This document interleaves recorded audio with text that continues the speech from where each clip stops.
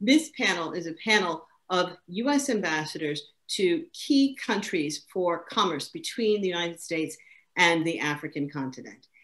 What we want to do now is hear their perspectives on their experiences in dealing with African businesses and guidance for those um, who seek to do business on the ground in each one of their respective countries. We have for this panel a fantastic moderator. We have Zain Verjee, who is a former CNN anchor and correspondent and a communications entrepreneur who has worked across the African continent, though she called Kenya home.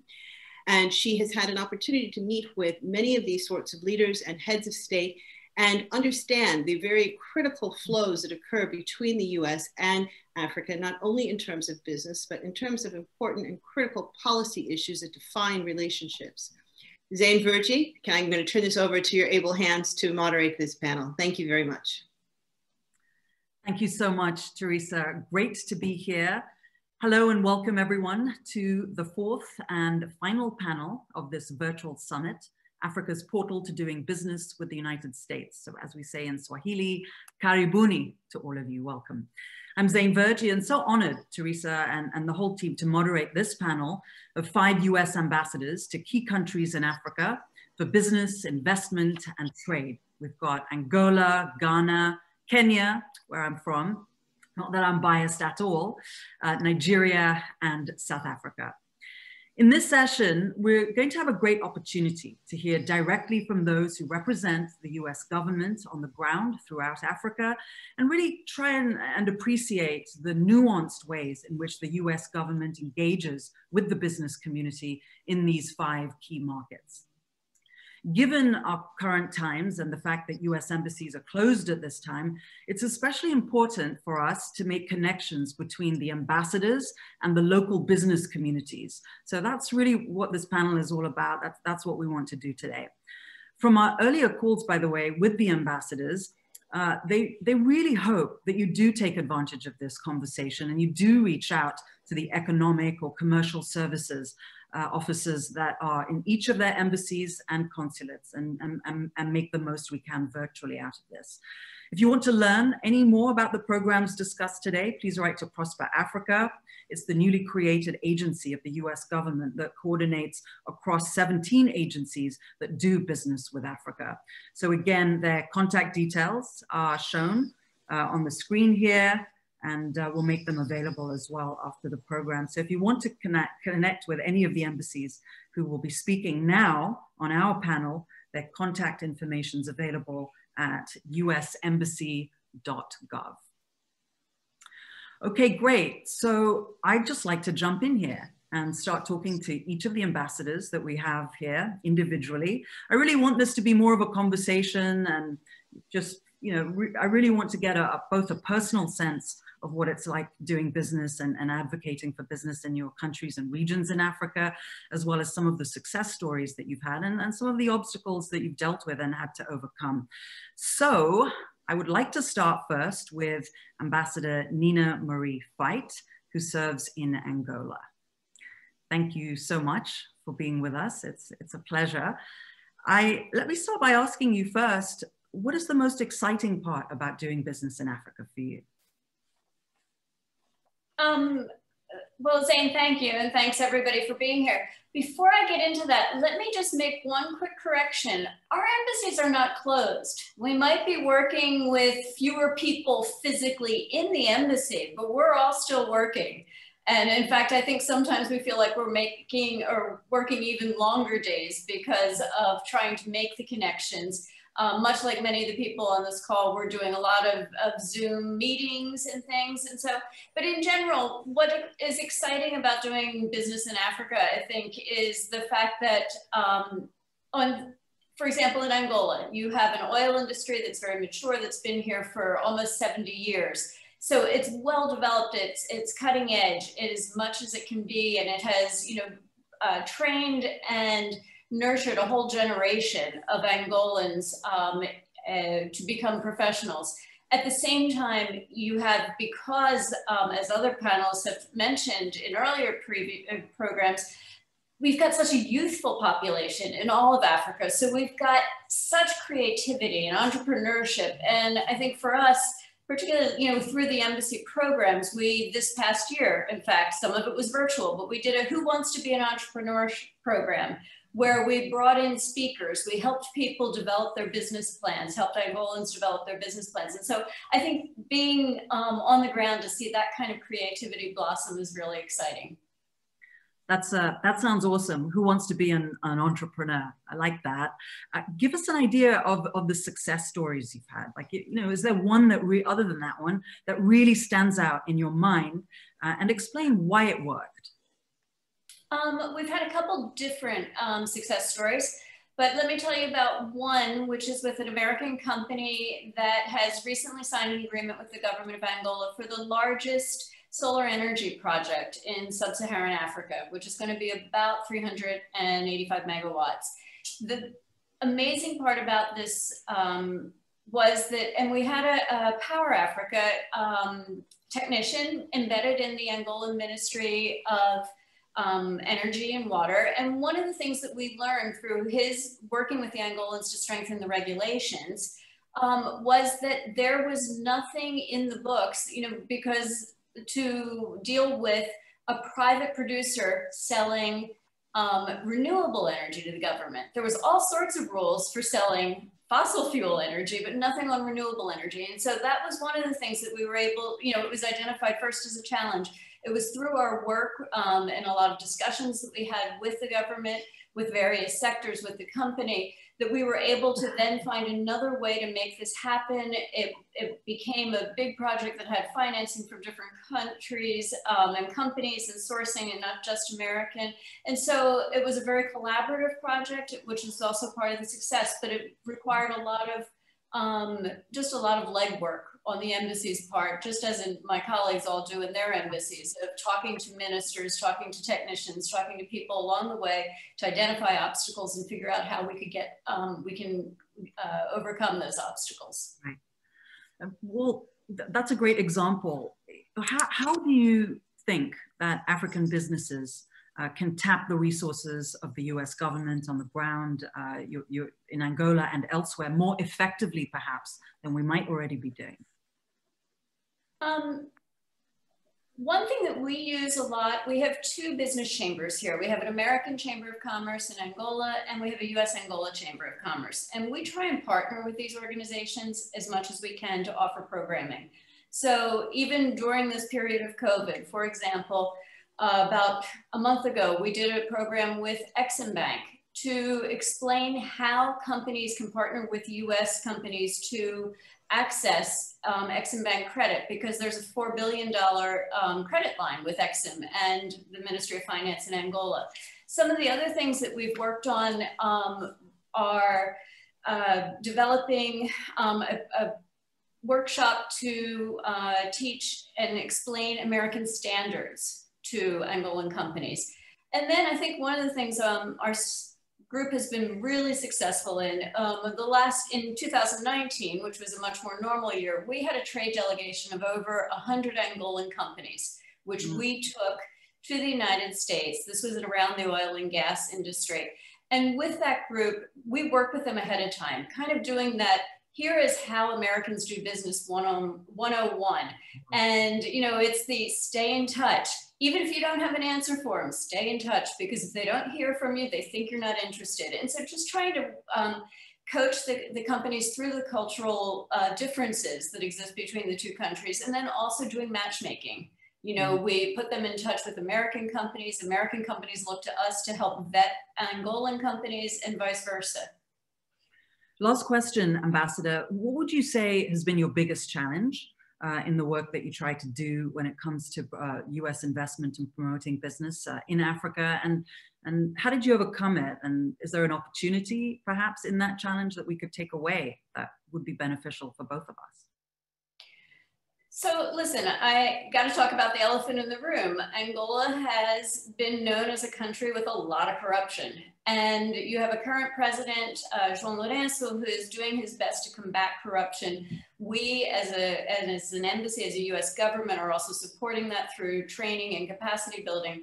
But, you know, that's something that companies are reluctant, but at the same time, things have changed here. Things are starting to, um, you know, he has made considerable strides. And so I think part of our biggest challenge is also educating people, um, explaining the risks, making sure that people have the a true understanding of what they're coming into when they come here, and then also working with the Angolans to say, hey, look at these are some of the low-hanging fruit that if you can make this business process a little easier, that will make things more um, uh, less risk, uh, risky for American companies coming in. And so it's a work in progress. I don't want to say we've overcome the challenge, but I think we've made a lot of progress.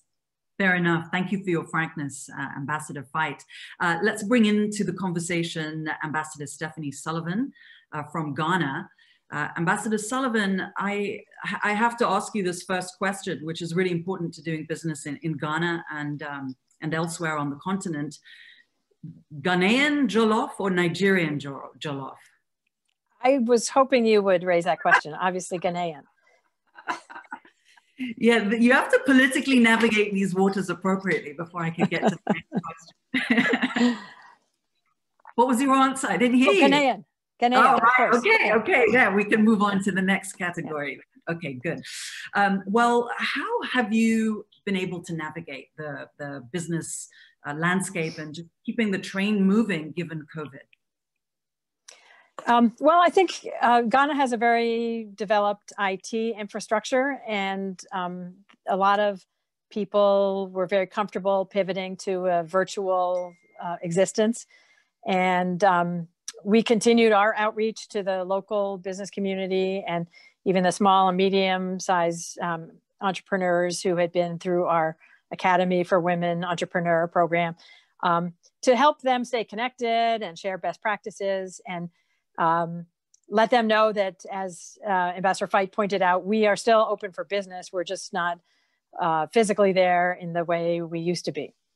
We'll, we'll, talk about that a little bit because I know there's been uh, some pretty good, I think, uh, virtual trade missions, right, that uh, that you pursued, and uh, pretty successful video conferences bringing different parties together. Just talk a little bit about that. Has that been more effective than a, an actual in-person one, equally as effective, or did you lose something by doing that? Um, well, I think it's a, a mixed bag. Um, fundamentally, the business environment is about relationships. Um, right. And I think people who already had existing relationships in real life uh, found it a bit easier to pivot. But as the whole world got used to dealing um, with Zoom and these other platforms, uh, I think that in-person connection became less important than it used to be. And so that I think has enabled things to accelerate in a way. Like nobody needs to get a visa, nobody needs to get their yellow fever shot.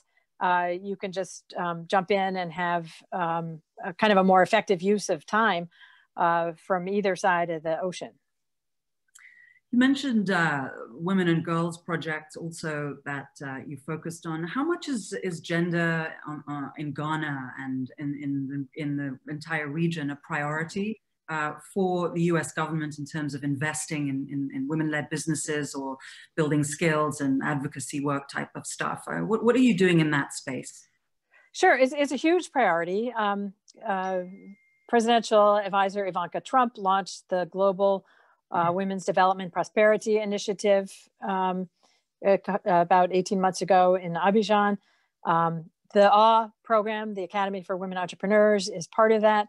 Um, we've already heard in previous panels how the African Development Foundation is uh, providing facilities for some of these alumni uh, who's, you know, it's about capacity building and helping people. What, what really warms my heart as a former Peace Corps volunteer is the capacity building uh, and helping uh, people, communities, companies, nations reach their full potential. And one of the things that really drives me, particularly about the um, new approach with Prosper Africa, is I first came to an African country in 1980, and I don't want to be having the same conversations if I'm still alive in 40 years uh, that we've been having about development. So something has to change, and I think the the focus on the business to business uh, and um, providing the facilities to have some of these small and medium companies get help them get from good to great uh, Ambassador Fite mentioned the EXIM facility. There's a similar uh, 300 million EXIM facility um, agreement between US EXIM and Ghana EXIM. Uh, and we're looking forward to seeing those companies that will be the beneficiaries uh, selected in a very um, objective and nonpartisan manner um, based on their potential for creating employment. Uh, we've heard about the youth bulge, and, and that's a serious, not just economic issue, um, but a potential security issue. So it's right. a double-edged sword of, um, you know, yeah. Yeah. crisis and opportunity. there always is that double-edged sword, depending on how we weight it. Um, so uh, one question here, because um, what has changed is that we have this thing called the Continental Free Trade Area Agreement, um, right? So how's the US government, how are you looking at future potential investment on the continent, uh, bearing in mind the context in which we're also beginning to operate within the continent? Uh, I don't know what you mean by the context. If you're talking about COVID or no, no, this no, larger trade. trade agreement. Oh, yeah. I think it's great. I mean, I, I think there was some uh, misinformation out there that the U.S. was not enthusiastic about um, the Continental Free Trade Area. We're 100% enthusiastic. We want to see this larger trading bloc that will be more attractive to um, U.S. engagement in the business sense. And uh, we don't, we want to see those barriers come down, um, you know, but it's a building process and, and, and, and you've got the sub-regional economic organizations. Right. Uh, you've got trucks stuck for days at the border, even within an economic organization. And so there's a lot of work to be done, but we have um, been engaging with the new secretariat that's based in Accra. Uh, and we're looking at ways that we can help um, uh, amplify and uh, help Americans understand what the opportunities are there because um, it's really a potential game changer.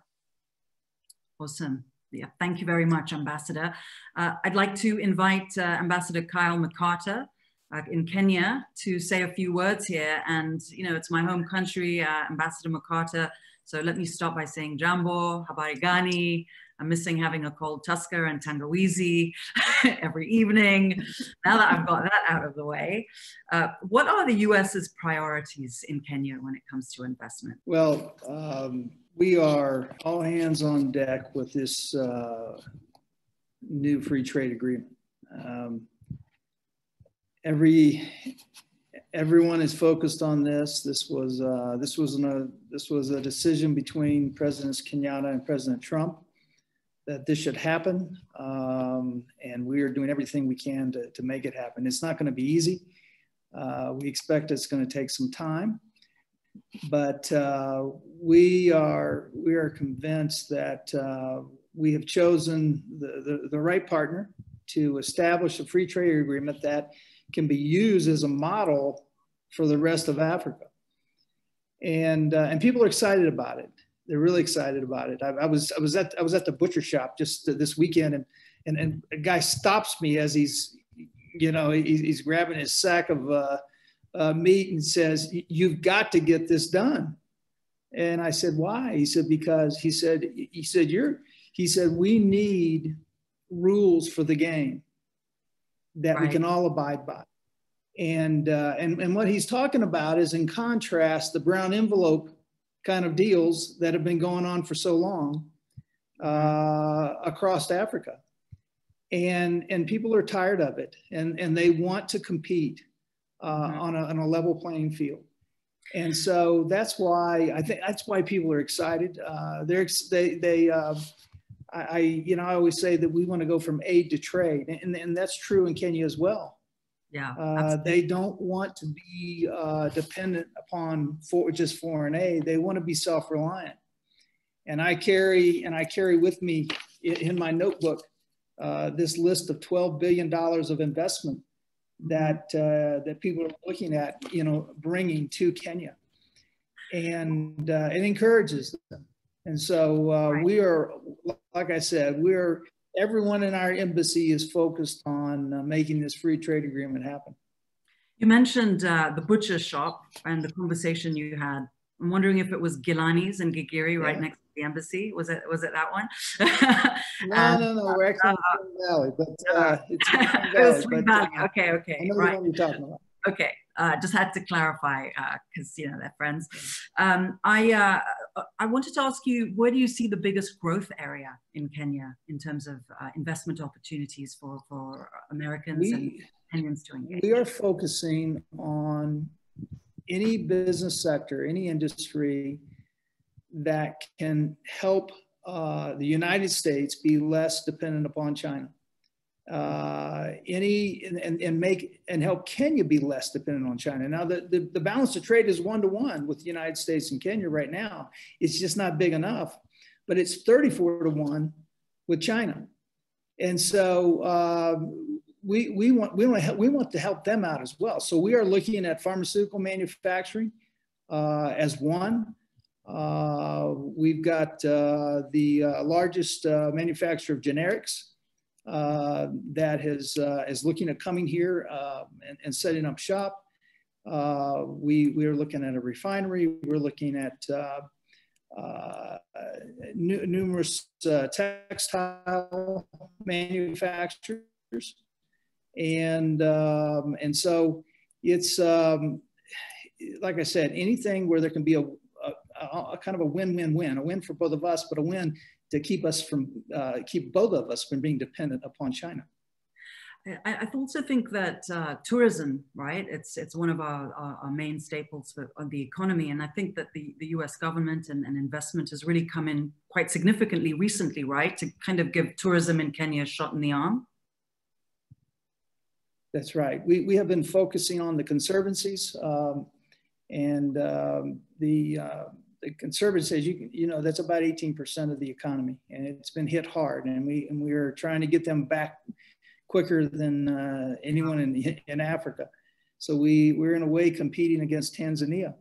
And so uh, we're trying to get people back as quick as possible. You know we're very fortunate that COVID has not hit um, most of Africa. We you know South Africa has had had some real challenges but uh, I'll say in Kenya, we, we've had very few deaths, a fraction of the deaths for, to COVID that we were uh, ex expected to have. And yeah. so we have come out of this a little quicker than anyone thought. And uh, it's, it's, it's made a, a, safer environment for tourists. And so uh, we're, we're trying to get them, get that back, that industry back as soon as, as soon as possible because it, it's hurt a lot of people.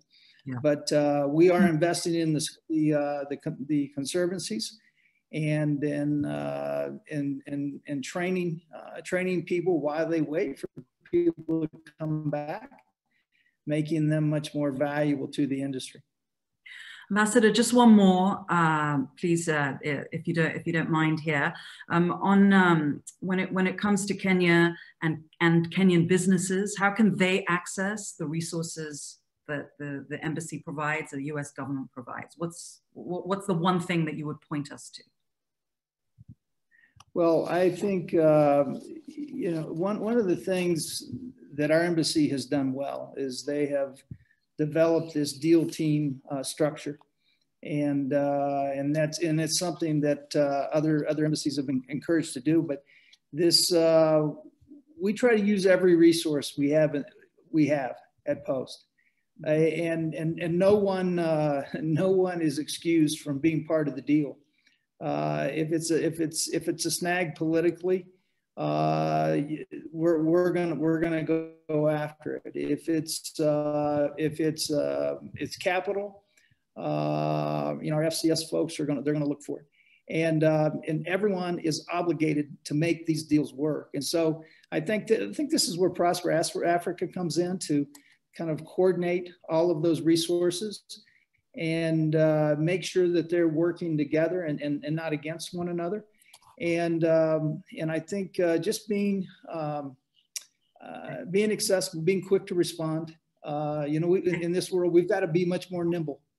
We, yeah, we've, we've got to be quick and we got to be quicker than, than the people we're competing against. And so uh, I would say, uh, you know, that Prosper Africa is there for that. And, uh, and I will say that uh, the same list that I carry around is one that's driven by them and followed up by us. And, uh, and, and we're, doing, we're trying our best to bring these across the finish line uh, for you. the prosperity of both the United States and Kenya. Awesome. Asante Sana, Ambassador. Uh, we'll come back again, uh, Karibu, shortly. Uh, let's uh, let's uh, bring in Ambassador Mary Beth Leonard, uh, Ambassador to Nigeria. Great to have you here. Nigerian or Ghanaian jollof, please. So, you know, one of the very last in-person events that I went to before all, everything shut down with COVID was Ghanaian National Day. And there was a side-by-side taste test of Ghanaian and Nigerian. oh, no. And um, I am going to decline to tell you which one I prefer. Allow draw what difference you may without validating that inference.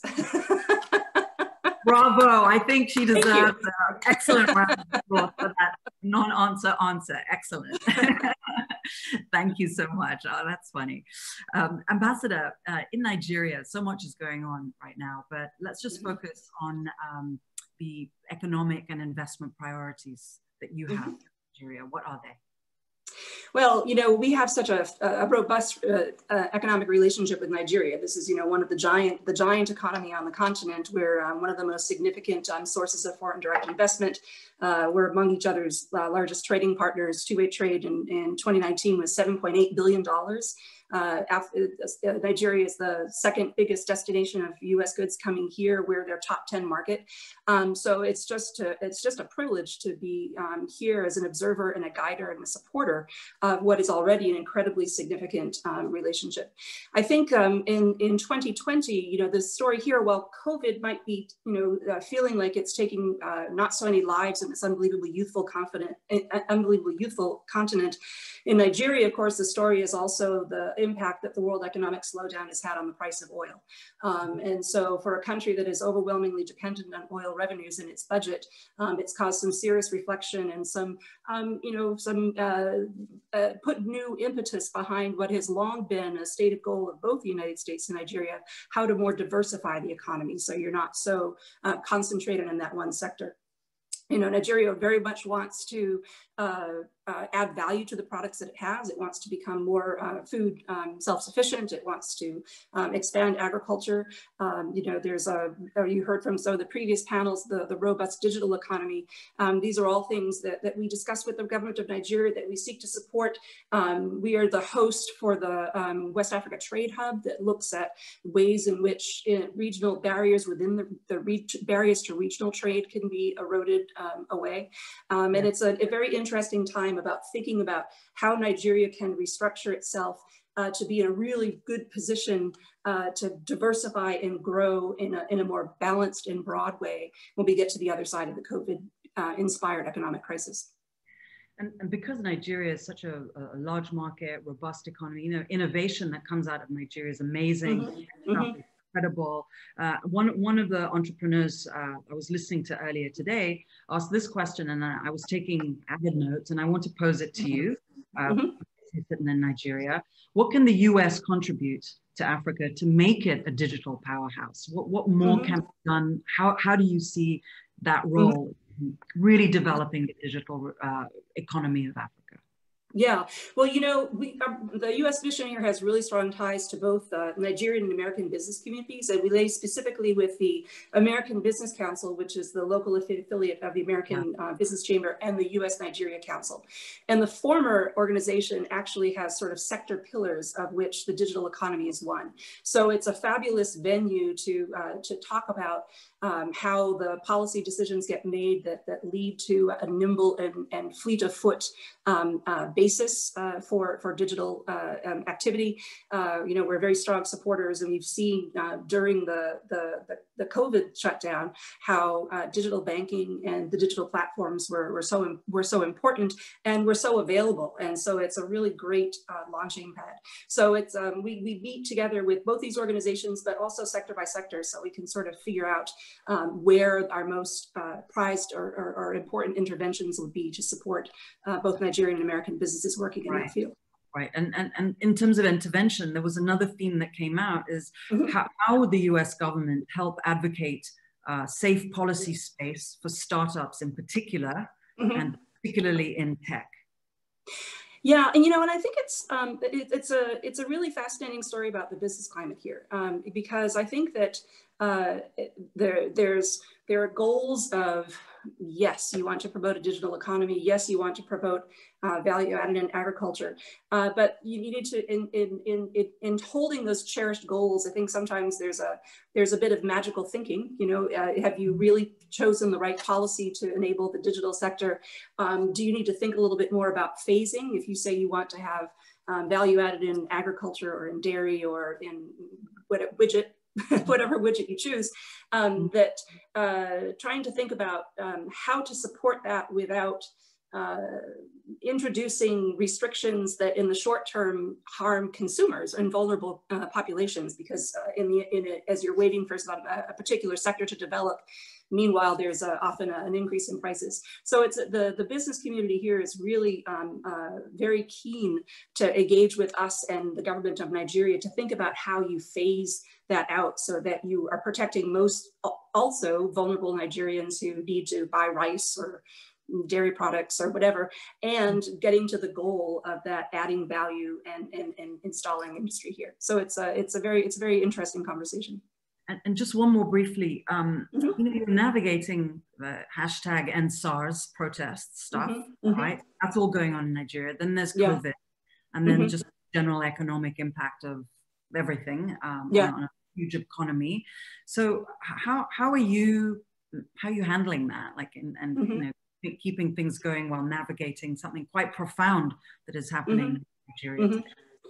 Yeah, yeah. I mean, it's uh, you know, I can. I've been. My phone has been flashing all day with sort of um, little alerts about protests here and there. Although, of course, you know, the decision has been taken to to disband the the unit in in question. Um, but it's a uh, it's it's a it's a time to be a, a great accompanier as a as a partner. Um, uh, certainly on the you know starting with the health front, um, uh, you know we we've always been a big contributor to health in Nigeria, and the the COVID response of this country basically rests on the billions of dollars that we've built in things like lab infrastructure um, over the years. And something like five dozen people who work in my mission are working every day, all day on um, COVID-19 response. Um, and so it's identifying opportunities. It's, it's remembering to be in this for the long haul and to, to be in it for how we are positioning ourselves for the after the COVID crisis, that you're in a good spot given all of the dynamics uh, of uncertainty that we're facing. Thank you, Ambassador. Uh, mm-hmm. Let's uh, bring Ambassador Lana J. Marks uh, to the stage, South African Ambassador. Uh, great to have you here with us. How's it? Uh, Ambassador, uh, South Africa has taken a beating as the, the country on the continent when it comes to COVID. Um, it's been a really tough scenario to navigate for so many people. Um, from your perspective, how, how, how has that impacted the work that the embassy uh, the US government is doing, needs to do in, in, the largest economy on the continent after Nigeria.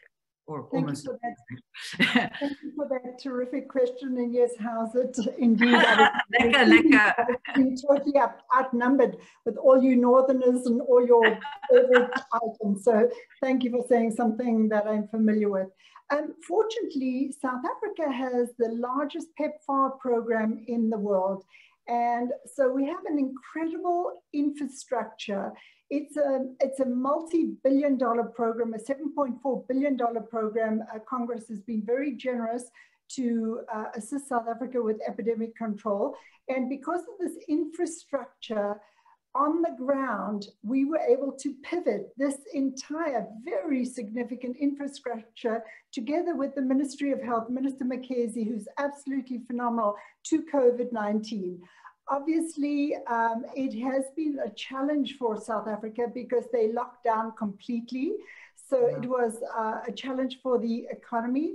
I feel also blessed to be ambassador here during the time of President Ramaphosa, who's who's just been absolutely extraordinary. We were also fortunate to supply uh, through this administration 1,000 state-of-the-art, highest technology ventilators to South Africa, even some with the fantastic screens. And this was enormously appreciated by, um, by South Africa. They are Via made in Ohio, 100%. And South Africa has never had such a product. So the goodwill engendered because of that has been absolutely extraordinary. We've uh, supplied the oxygen for the ventilators as well. They're portable, so they can be taken into the rural areas Um, and also, it's just a matter, you know, I, I, arrived here in November and then had to pivot to COVID with the, the online platforms, et cetera, et cetera. And we've just had to pivot and engage accordingly. So that's amazing. So you got there and, and this happened uh, and you were right in it. Um, so, so in terms of recovery, right, because uh, as, as, we, as South Africa looks to come out of this, uh, what, uh, what, what, uh, uh, what opportunities does the US government, does your embassy have in place in order to help that recovery? what, what should South Africans know? Yes. So first of all, when I came here, I saw that uh, South Africa was our 39th trading partner. It's the number one economy on Africa in trade with the United States. And uh, we're number three of South Africa. number three is not very good for me. Number one is the only language I understand. So I made it my mission from the time I arrived here that I was going to have intense engagement across all sectors. And also there'd been very little engagement with the ministers in South Africa for the last 20 years. I've engaged one-on-one with all the ministers, with all sectors. And even though we have a COVID year for now, trade, the exports from South Africa to the United States in 2020 have actually, I've done intense engagement. I've been intense about increasing business and business has increased this year 44% from last year. We're doing a billion dollars a month exports wow. from South Africa to the United States since I've arrived here. And that's just the starting point. What I've done is I've gone to each minister. For example, I met Minister Mantashe, who nobody had met with for years. And I actually, within three weeks, brought him to the United States to our Department of Energy just prior to COVID. And I said, Minister, what can we do for you? What can the US do for you? And I've gone to each and every minister, I've engaged with them extensively and created um, a very good rapport with very, very significant projects both way in the offing coming up now uh, within the coming year, but very significant. Um, South Africa has really pivoted to the United States. The response has been very positive. Right. Um, the agriculture has been way up, the citrus okay. has been way up, and I see this just as a starting point for the future. There are many, many projects in the works, and um, I, I, think that um, South Africa is availing itself of the United States as we are assisting uh, with South African companies by USAID, pivoting, um, helping them to also do business with the United States. I think even if COVID mm -hmm. hadn't happened, this was needed. And, uh, and finally, what would you say are the two or three biggest growth sectors for South Africa when it comes to US investment and business opportunities? Uh, I'd say in South Africa or even in, in the region, Southern African region. Right, right. You know, I'm not going to limit it to a particular sector. We have tremendous opportunities with agriculture. We have tremendous opportunities in the mineral sector, advanced manufacturing services. So uh, telecom, 5G, we're working intensively on that. I just convened many, many meetings here regarding 5G uh, for the future. And then actually was in Washington several weeks ago and we we convened a very significant meeting, the NSC, with all the stakeholders for 5G. So tremendous opportunity, defense supplies, there's medical supplies. I could go on and on. I'm not going to limit it to a particular sector or a particular service. It's absolutely across the board and we're only starting. Thank you. Thank you so much for that. All, all ambassadors uh, really enjoyed your responses. Now I just have a few more minutes left and I got some questions from uh, various people that had come through. But in the interest of time, maybe I could just pick one I like. uh, sorry uh, if, if I've missed anyone else out, because I think it gives everybody the opportunity to answer it rather than just direct one one and then we'll run out of time. And it's also relevant, okay? So uh, the question is this, it is from Kigali uh, in Rwanda, and it's from a finance director in uh, mobile telco sector. And, and uh, it's, the question is this. We're talking about international business in a pandemic when travel is difficult, impossible, or prohibited. In what ways have your embassies adapted to a digital environment to establish or maintain connections between the US and your host countries. Now, I know everyone kind of has touched on this, but we can maybe drill down on one or two points that you further want to make or, or highlight. So perhaps I could start with Ambassador Fite. Hi.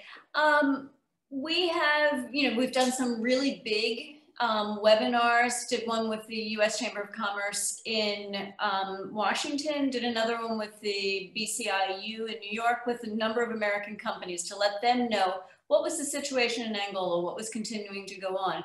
But here, you know, doing, getting in touch with Angolan um, uh, companies, one of the things that we've been doing is we have had uh, webinars here or, or uh, Zoom calls with ministers, with ministries. We've done a lot with um, just kind of the general type of things that we would typically do in a regular period of, of phone calling, of letter writing, um, maybe a little more formal in some regards. And, um, you know, even with COVID, we have found a way to have small meetings, generally outdoors. I think everybody feels a whole lot mm-hmm. more comfortable outdoors, wearing our masks, and you know we can still get together and have a conversation when we need to because you know at the end of the day the person to person really is very important but we've got to be safe when we do that ambassador sullivan uh, so earlier I mentioned um, we'd had a virtual trade mission and we're looking forward to uh, the connections and follow up from that. Um, I, I, think the, the, US is very, um, for US business people, I think it actually gives us an advantage um, vis-a-vis -vis the business relationships um, with different African countries because uh, we're already very comfortable with the virtual world and the teleconferences. And, and I just think in a way it accelerates. Um, the, the only thing that's different is it's kind of a longer day because of the time difference, you know, depending on the time of year, four hours, about to go to five hours.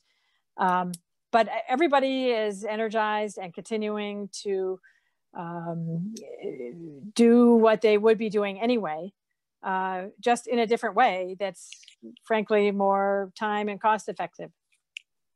Thank you. Ambassador McCarter. Yeah, I think uh, we're, we're, very fortunate because, uh, and, and, thanks to Kenya's vibrant uh, digital ecosystem, they, they were able to adjust quick.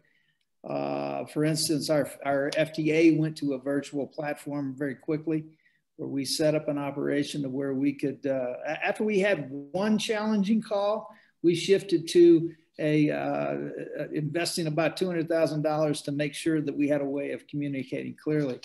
I'd say one other big thing that's come out of this too is we have, uh, we're just now launching a way to connect every school in Kenya uh, with, uh, with internet and the K through 8 curriculum that is, is actually resident in the school and uh, and really that push would not we would not have that would not have come about if it wasn't for covid. And so now uh, every child in kenya is going to have an opportunity to learn uh, even through a, another pandemic. So a lot of good things have come from it.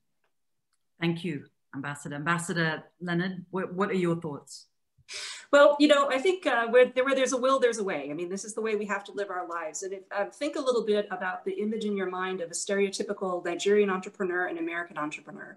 And I think that you would say they are kindred spirits. I mean, they're both sort of known as, you know, aggressively entrepreneurial and energetic and busy, busy. And so those people are going to find a way to come together.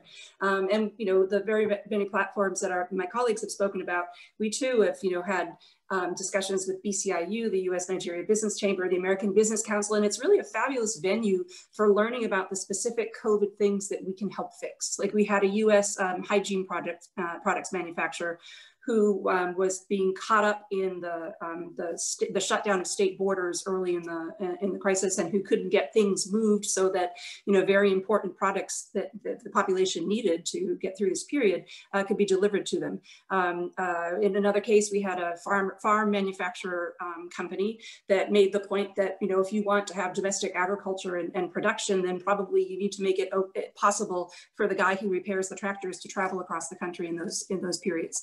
So it's uh, it's uh, we're, we're looking all the time at the uh, the how we get this information in, how we use it, and and the, as I said, those those connections are uh, like water finding its level. I think uh, to, to, to to go rushing towards each other.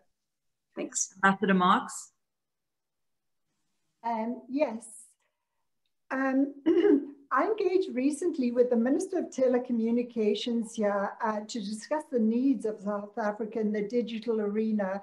We then convened with our commercial services folks here and then with some of our great corporations and institutions in the United States to put this all together and it's going incredibly well. And the second aspect is um, I convened some of our very significant, 30 of our largest international corporations uh, like Amazon, GE, etc. And we put together a portal. I got USAID to assist with their IT people. And we put together a portal and the presidency of South Africa is very, very excited about it. And we're gonna make this next week actually live. And it's gonna be available to the presidency, all the ministers, all the premiers of all the provinces in South Africa, and it's going to train free all young South Africans in the digital arena and uh, have opportunities for young South Africans with American companies in the digital arena. So these two examples um, I'm really excited about. Thank you so much. I think we have like time for a quick final thought if uh, anyone is bursting to say anything. Um, I kind of like to wrap it up that way and you leave all of us with a concrete thought, like the one thing you want us to, to take away from all of this. Um, Ambassador Fite, uh, if we could just go back around and, and start with you, just short and tight. And what's the concrete thing I need to know as, as an African business, as an Angolan business, uh, wanting some uh, US help and, and building that relationship and investment? Um, we're here to help you. We're committed to helping companies and we're also committed to working with the government of Angola to improve the business environment here. Ambassador Sullivan. Uh, what she said, but also um, patience and persistence go a long way. And I think it's important mm -hmm. to uh, take time to examine the cross-cultural differences. Uh, and when you're pitching your company, don't pitch the way you want to be pitched pitched the way the American companies want to be pitched. And part of that is what have you done for us lately? Not, um, you know, here's where we were, our friendship, our relationship 20 years ago, 60 years ago. Um, get try to get inside each other's minds uh, to facilitate that type of um, productive communication. Great, took notes there. Ambassador McCarter. Well, two things. I think uh, those that invest uh, uh the quickest, can take advantage of a, uh, a, a population of youth that are uh, trained, prepared, ready to go.